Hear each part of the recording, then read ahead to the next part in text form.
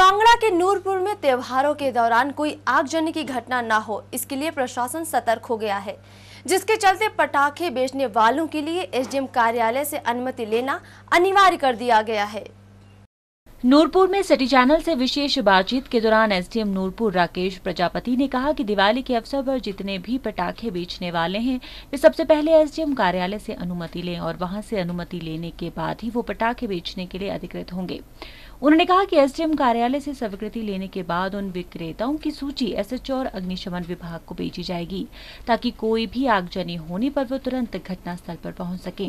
उन्होंने कहा कि पटाखे बेचने के लिए प्रशासन ने चौगान का मैदान उपलब्ध करवाया है ताकि भीड़ भाड़ वाली जगहों पर बेचने की बजाय खुले मैदान में पटाखे बेचे जाएँ। आने वाली दिवाली में जितने भी व्यापारी हैं जो पटाखों का व्यापार करना चाहते हैं, वो एसडीएम कार्यालय द्वारा पहले तो परमिशन ले लें क्योंकि ये जो परमिशन दिया जाता है, उसके माध्यम से हम फायर ब्रिगेड और पुलिस को भी सूचना प्रदान करते हैं कि किन किन एरियाज़ में पटाखे बिक रहे हैं और ये जो